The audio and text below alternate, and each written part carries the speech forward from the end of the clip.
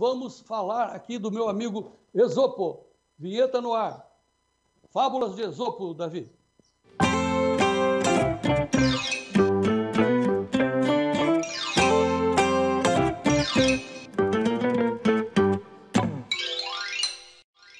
Vocês sabem que o Esopo, que viveu quase 400 anos antes do nascimento de Cristo, ele fazia as fábulas, fazendo os animais falar, etc. e tal, mas ele era um homem absolutamente político.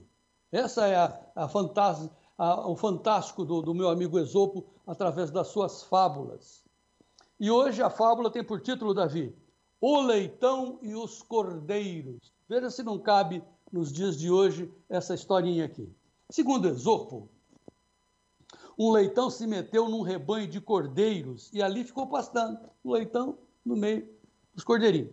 Mas um dia, o pastor o agarrou, agarrou o leitão, e ele se pôs a berrar e a espernear. Então os cordeiros que estavam ali do seu lado chamaram atenção por causa dos seus berros, dizendo, abre aspas, ele, o, o, o, o, pastor, nos agarra constantemente e nós não gritamos.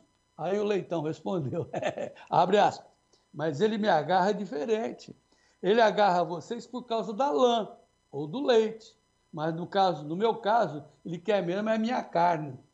E ó, se pôs a berrar. Segundo Esopo, a fábula mostra que tem razão o, o, o, leitão de berrar, porque, e tem razão todos que chiam, aqueles que se veem ameaçados nas suas posses não só nas suas posses, mas se veem ameaçados nas suas vidas. Entenderam o que o Paulo Moura estava querendo dizer para a gente?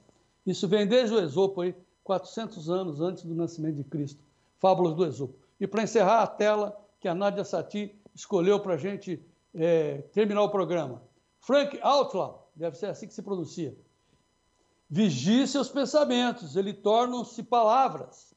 Vigie suas palavras, elas tornam-se ações.